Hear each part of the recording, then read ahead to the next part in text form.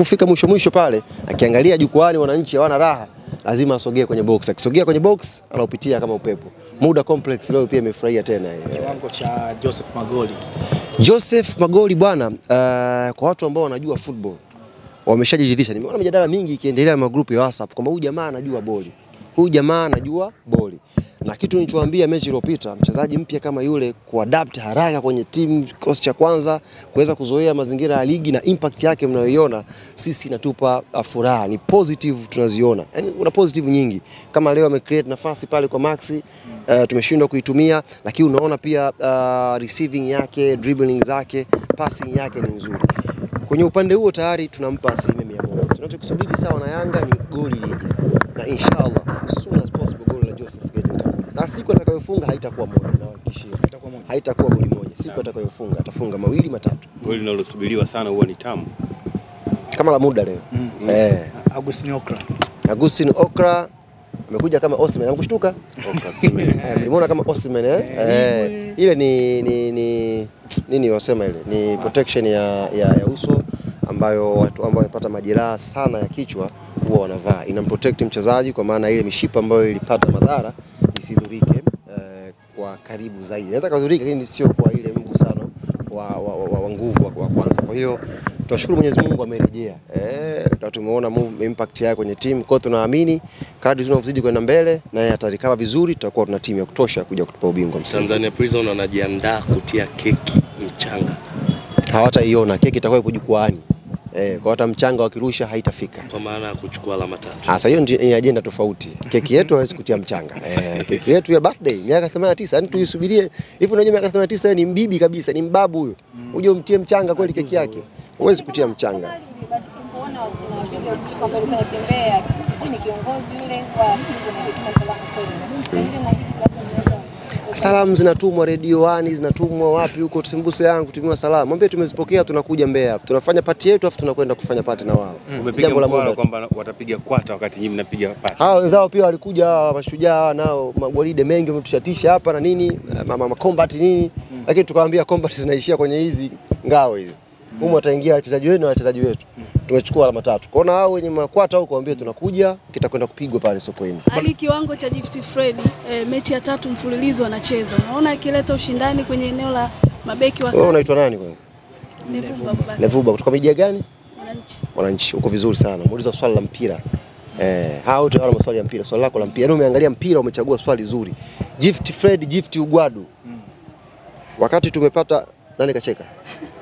Gift Fred wakati tumepata changamoto ya kukosa huduma ya Bakari Mwamnyeto, huduma ya Ibrahim Baka. Watu wote mlikuwa mna wasiwasi bwana itakuwaje pale eh, Dickson Job anacheza peke yake. Gift ameonyesha impact yake na mchango wake kwenye timu.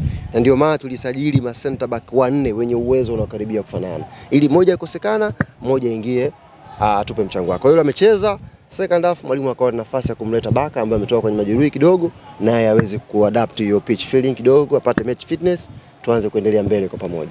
Johora leo mwamunaje leo?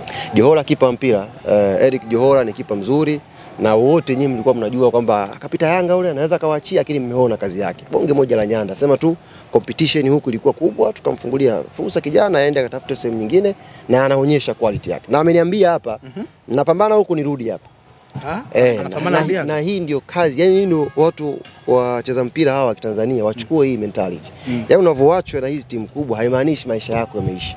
Maana yake nenda katafute sehemu, nenda kapambane, waonyeshe watu kwamba wewe uwezo bado upo. Ameniambia mimi nimepambana mm. na leo ilikuwa ni sikukuu hapa niwaonyeshe, mm. alafu nirudi. Kaambia basi inshallah wewe pambana, eh, uongozi umekutazama hapa, performance ikiwa nzuri utarudi inshallah. Hamna shida. Semaji watu walikuwa wanasema Max amemisi sana kufunga. Na watu kafunga walimisi goli gumu. Kafunga goli gumu sana. wanasema kwamba kiwango kimeisha, ndo basi tena. Hamna aliyesema hivyo.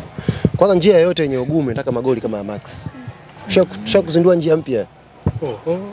naye kazindua njia mpya? Njia kama mtaani kwenu imejengwa ukataka kuizindua. Barabara ifunguliwe. Eh, inakuwa inakuwa ina ugumu wake.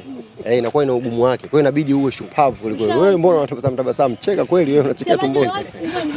Eh, Kama Max alifungua leo. goli alofunga Max leo ni lile goli ambalo amelisubiri kwa hamu, ila ugumu wake. Kwa hiyo tayari amesha na mikono, sasa hivi kazi inaendelea mbele, Max ni kurudi kufunga. Unajua mimi natazama mechi ya Prison inshallah. tutakuwa tumerejea watu wetu wote pale juu eh, tutakuwa timu yetu pale, Yaani tusubiri tu ifike Kesho Jumapili Mzizi inshallah. Madabi.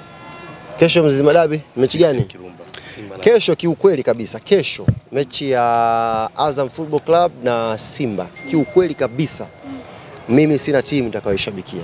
Matokeo nataka pale ni sare. Ikitokea basi Mungu kaamua mmoja afungwe, basi afungwe Kolo, wallahi. Yani mimi sitaki afungwe yote, mechi ikiwezekana ishe, ndio ninachokiombea.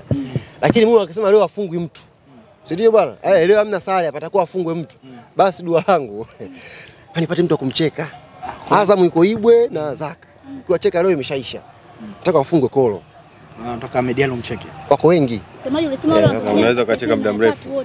Ile mechi ni ngumu kwa sababu ya hiyo nafasi ya pili, wanapambana sana pale. Lakini mimi ukiniambia nichague, kiukweli nataka sare. Yaani siwafiche ndugu zangu waandishi wa habari. Ila ikitokea Mungu ataka mtu afungwe, basi afungwe Kolo, tumcheke. Ally. Afungwe Kolo. Si wote hao jumuiya hiyo, hiyo ni jama ya Kolo. huu ni mwezi wao wa kupambana, mwezi mgumu, sio mwezi Huyu mbona maswali yake anauliza onekani, njoo huku. Naona maswali yake anaulizia pembeni huku. Ah, hamna maswali kama hayo. Lete maswali mengine bana. Usio. Eh, ameisha. Usiku mwema. Asante sana.